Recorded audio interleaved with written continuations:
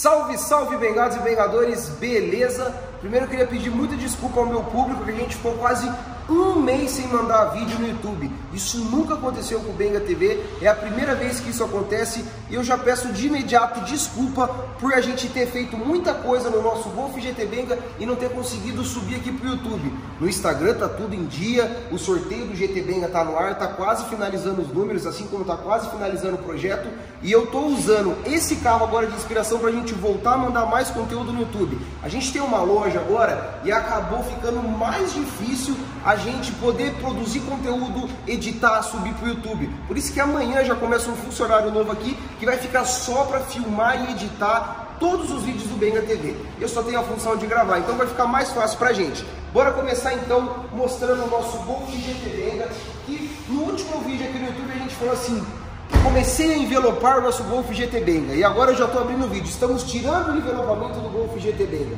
O Nardo Gray não agradou, né, Sati? Ah, tá feia, bom. Feia demais. Rapaziada, é o seguinte, a gente gostou, é, adesivo voltar aqui, ó.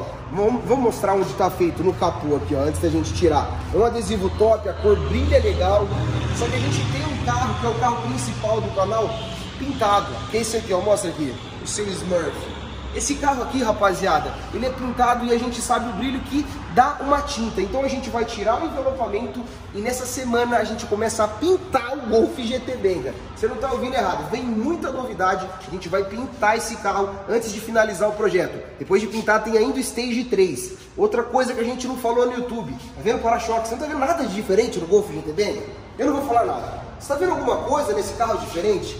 Do que aquele que eu comprei há um mês atrás, que está postado o vídeo, o para-choque, meu irmão. Colocamos o para-choque do GTI MK7,5, não do MK7 do MK7 Mini tivemos que fazer um monte de adaptação e depois eu vou subir um vídeo aqui no YouTube mostrando tudo que a gente teve que fazer para dar certo, porque é uma treta, não é plug and play. Se você pretende fazer essa modificação, não faça. Espera que a gente vai mostrar como fazer e vender esse para-choque para você que segue a gente aqui no Benga TV. Então, o público está atualizado aí das notícias, um mêsinho, isso nunca mais vai acontecer. Vamos focar no YouTube e bora agora tirar todo o envelopamento do Golf para a gente conseguir levar para pintura já avançado o carro. Então esse carro vai pintar. Que cor que vai pintar, Sati? Preto.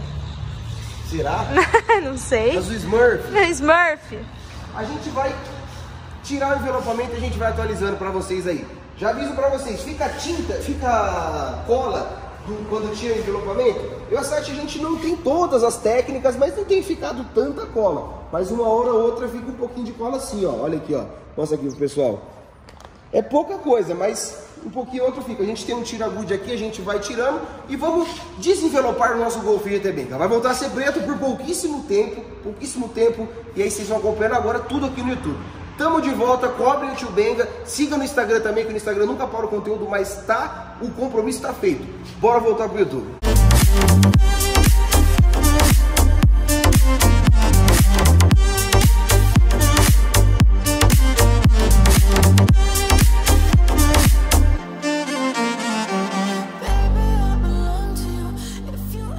É, meu amigo, dá uma olhada aí na lateral do Golf GT Benga. Eu e a Dona Sati trabalhando firme aqui para tirar o envelopamento. Como eu falei, a gente não tem aí todas as técnicas, mas vou ser bem sincero. A gente tá indo bem, hein? Tá indo bem. Tá ficando com resquício de cola em alguns pontos. Isso aqui é na hora que vai tirando, tem que saber tirar, tem que vir meio que contínuo. Se você dá uma parada, fica resquício de cola. Ó, a porta que eu fiz ficou com um pouco mais que a porta da SAT. Você tá usando o soprador também? Eu usei o soprador, tem que fazer muita força pra tirar. Eu quase caio pra trás, mas dá certo. Mas tá dando certo, né, mozão? Dá Aí, ó. E aqui no spoiler a gente não sei se vai conseguir tirar, porque tem a abinha dele aqui. A gente vai tentar deixar, colocar mais pra dentro, porque daqui um ou dois dias esse carro tá todo desmontado pra pintar. Aí os detalhezinhos, o pessoal da funilaria, que vocês vão conhecer a empresa em breve aqui no YouTube, vai fazer o trampo. Vamos lá, vamos continuar o Golfão. Golfão é bonito preto também, mano. Golfão é maravilhoso na cor preta também.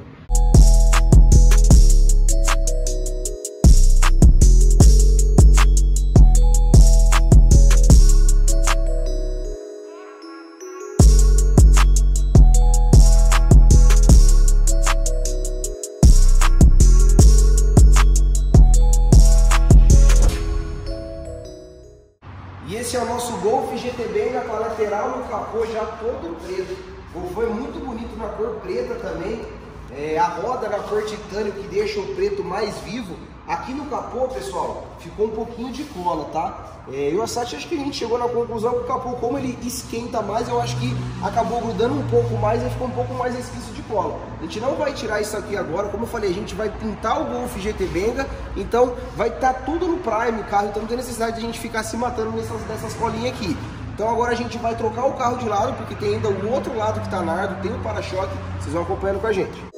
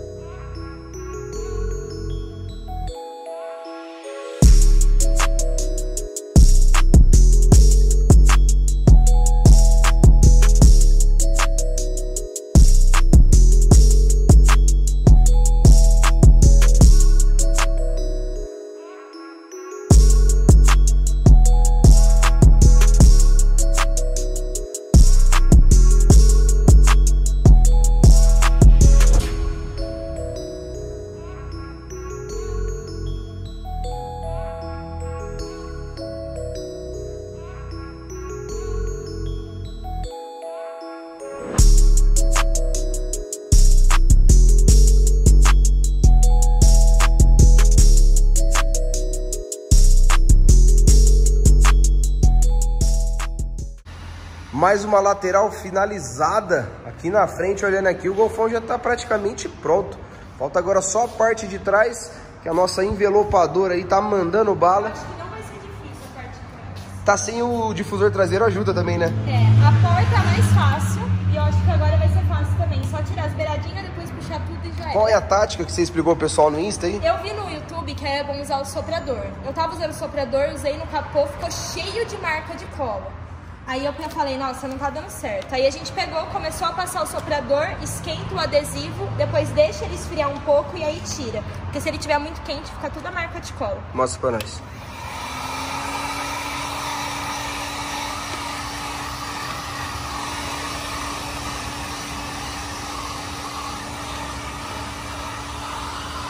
Esquentou, deixa ele esfriar um pouco. Ó, você viu que eu fui pôr na mão enquanto ele tava quente? Olha já a marca de cola. Não pode, aí tem que esperar, aí depois você tira, ó. Aí quando tira, aí não tem marca de cola. Olha só, Santão. Tá zica mesmo, hein?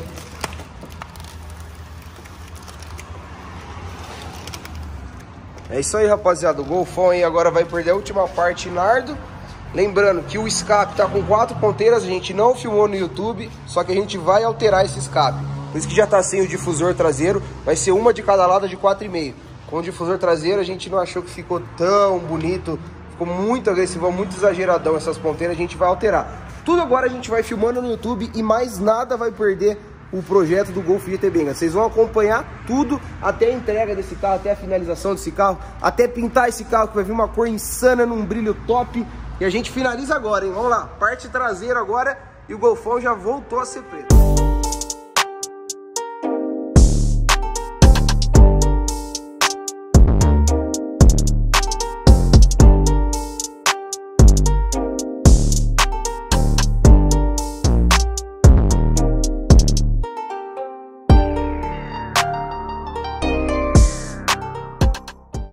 Para-choque traseiro já finalizado, tiramos o adesivo.